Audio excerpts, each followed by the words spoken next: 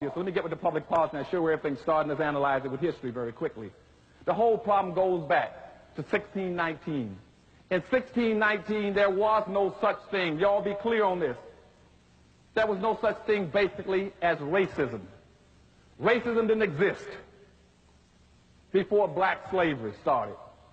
You had conflicts between ethnic groups. You had conflicts between uh, religious groups. Those were, and you had cultural disagreements. But you never had racism until, until black enslavement started. Racism is a word that means race. It means group. I don't want you to let people keep telling you that black people can be racist. You cannot be racist.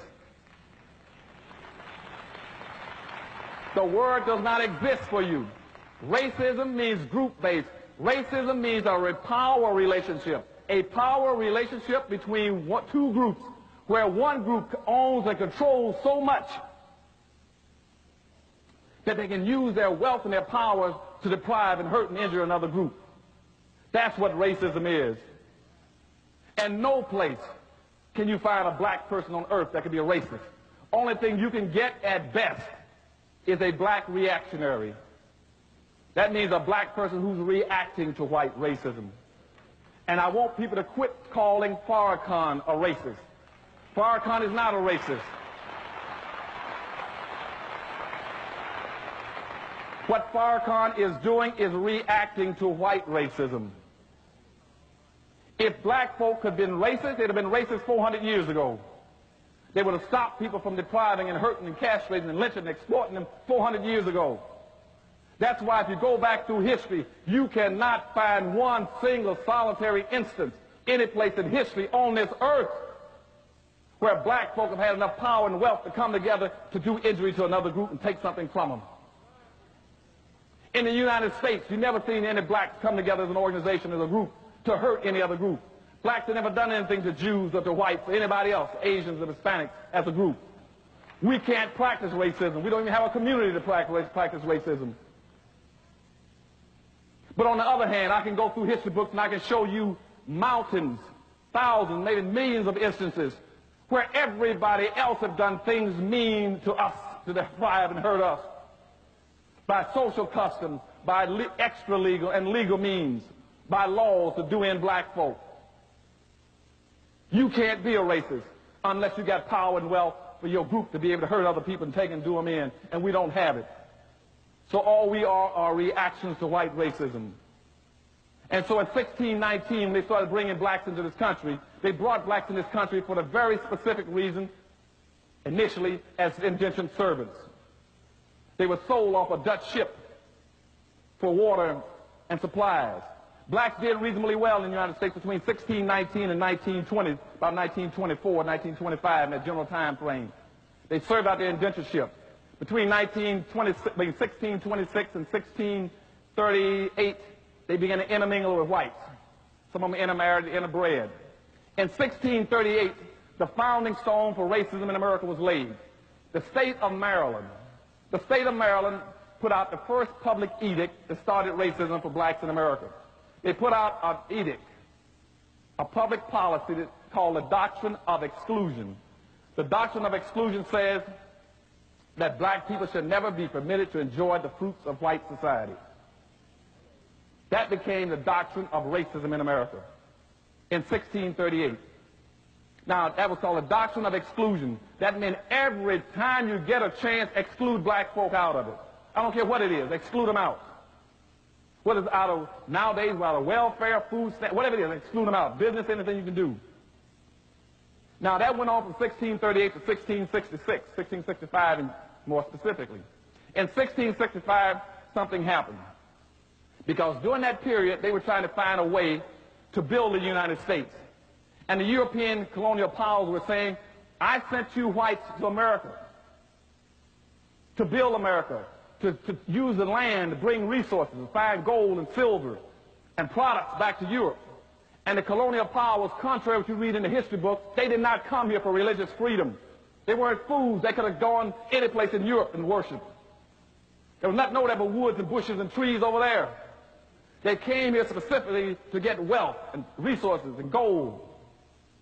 And, they, and what they kept telling the European colonial powers was that we can't do anything with America because we don't have a labor force. And somebody said, yes, we do have a labor force. So remember that group back in 1638 that Maryland shut out under the doctrine of exclusion? That's our labor force. So at that point in time, what they did then, they passed what were called enslavement laws. They passed enslavement laws and they took the doctrine of exclusion and expanded it.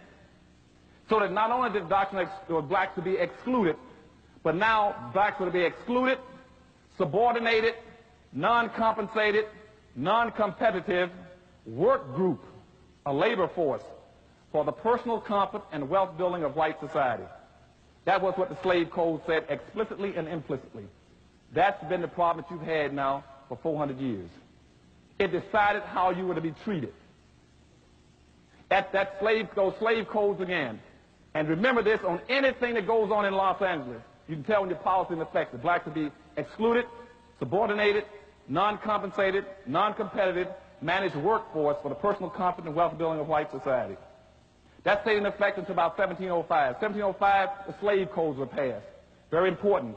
What the slave codes did was to tell everybody, whites on one side and blacks on one side, how you were to treat black folk and how whites were to behave towards each other.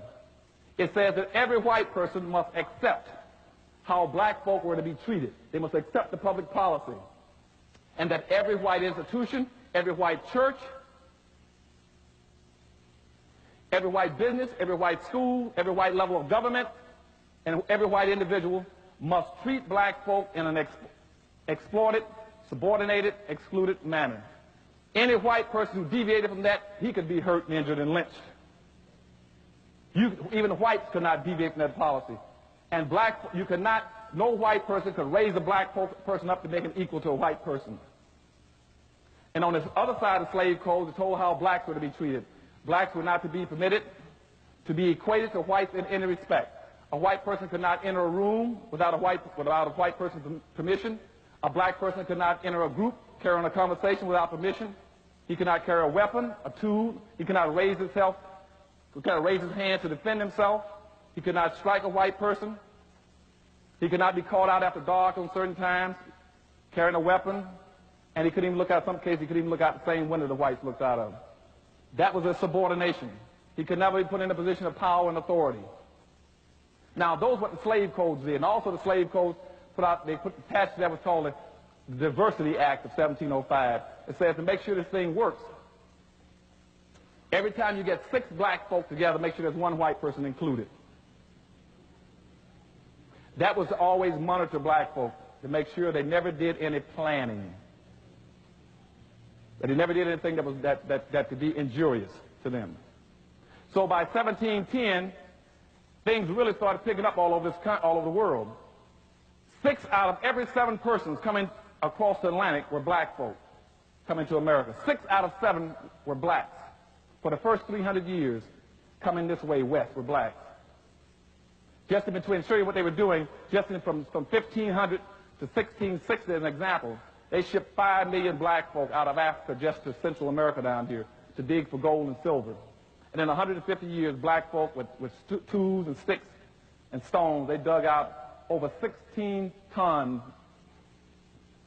16,000 tons of silver and over 4,000 tons of gold. All that went back to Europe. Black folk at that point in time were producing almost 99% of all the sugar on earth, cotton, tobacco, anything else. They were building all the houses. They were the caulkers, builders. So what they did then is sort of advertising in Europe. So anybody wants to get wealth, they go to America. You go to America, we guarantee you. We give you free land and free labor. And you'd have to be an idiot to come to America. to give you free land and free labor and not get rich.